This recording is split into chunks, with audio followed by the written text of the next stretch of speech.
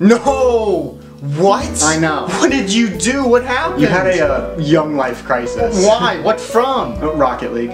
You know what? That makes sense. You know, just a bit, you're gonna look like this. But how is this possible? How's what possible? How do I look like this and you look like that? Oh, from a technical aspect. Oh, you just filmed those shots before and this after. But I made fun of you. correct. So we planned for the haircut to look bad. Yes, absolutely. And then proceeded with it anyway. Yes, absolutely. What if I what if I want to go back? That's not possible. Oh my god. Oh, thank God. No, you can't expect it to just, Just stay stop talking.